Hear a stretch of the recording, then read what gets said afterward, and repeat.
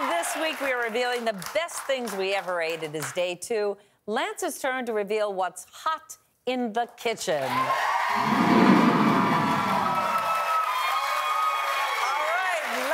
What are you obsessed with? All right. Well, growing up in Mississippi, you know, I lived in the country and we didn't have much seafood. It was a delicacy for us, and it was like something we would get when we were on vacation. Well, when I got older, um, I tried a lobster roll for the first time, and I fell in love with this thing. Um, and so every restaurant I go to around the world, I always get the lobster roll to see who has the best one. And I think I found it because my, my local, I love having a neighborhood place to go to. It's my Cheers. Yeah. There's a place called Lexington Brass right around the corner from me. So I go there all the time, and it's owned by their sister restaurant, Catch, the best seafood in New York. And I'm telling you, they make the best truffle lobster roll.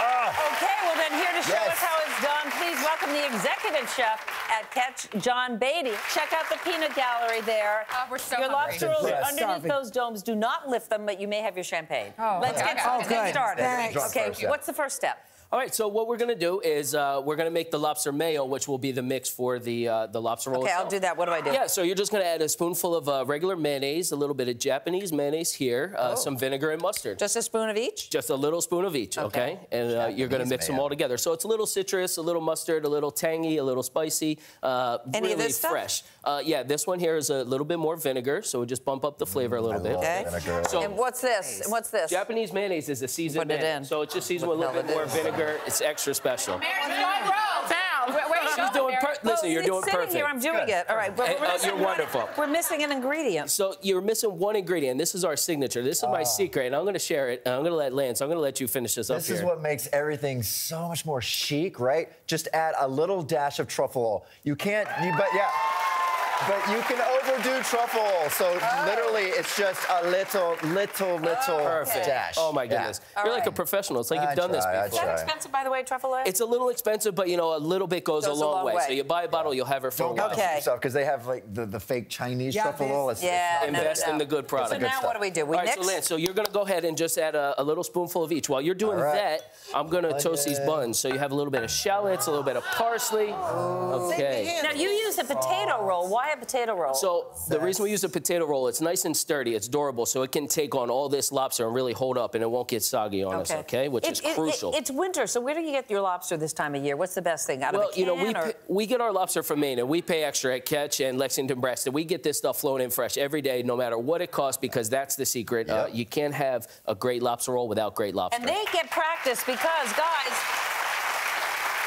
they make in that restaurant they serve. Correct me if I'm wrong, John. A thousand lobster rolls a day in the winter. So that's incredible. it's true. Okay, so now we're ready. Do I put this in, John? Do I? Okay, this- you're gonna add about a nice big hel- uh, healthy spoonful there.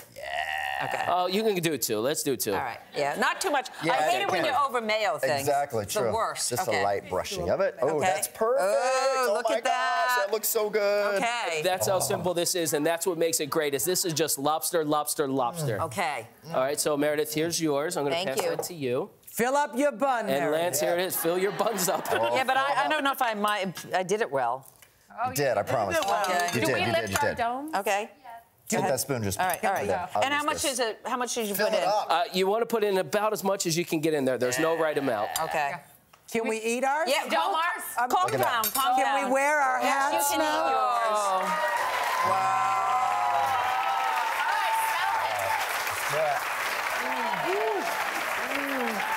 It is good. Oh my gosh. It is. So, it's all in that flavoring, John. It's delicious. So. That hint So of truffle oil Right? It is makes it- delicious. It makes I'm it- actually allergic to lobster, but this is good. Wow. So, Now that is the king of lobster roll. so Yamanika will be going into sh- Yamanika will be going into shock Everybody momentarily, but yeah, exactly.